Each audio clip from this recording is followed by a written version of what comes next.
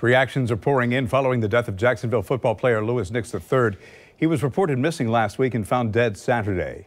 News4JAX reporter Zach Lashway is live from outside Raines High School, where he got his start. Good morning, Zach. Good morning, Melanie. From here at Raines, he'd move out of Florida to Indiana to play for Notre Dame and then eventually the NFL, playing for his hometown team, the Jacksonville Jags. But this morning, heartbreak and confusion. His family says they want answers into how he died. I just heard that they found his car in the pond near his girlfriend's house.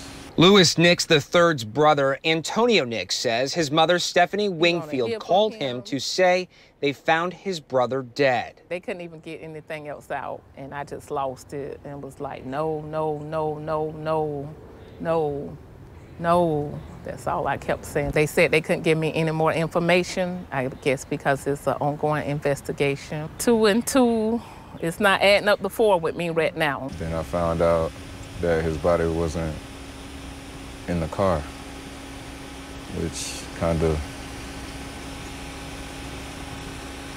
bothers me even more.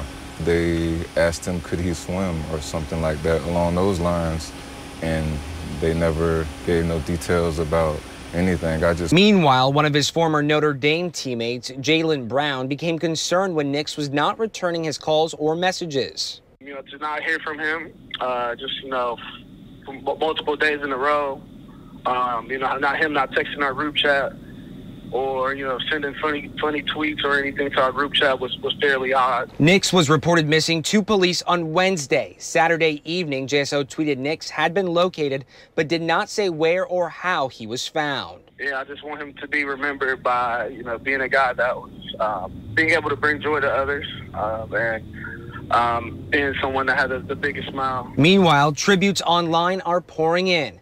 Brian Kelly, football head coach at Notre Dame, tweeting, quote, Louis Nix, Irish chocolate, we carry these memories until we see you again, end of quote. Drew Tranquill with the LA Chargers tweeting, quote, heartbreaking, rest in peace, Big Lou, end of quote. Matthias Farley with the New York Jets tweeting, quote, can't believe it, rest easy, my brother, end of quote.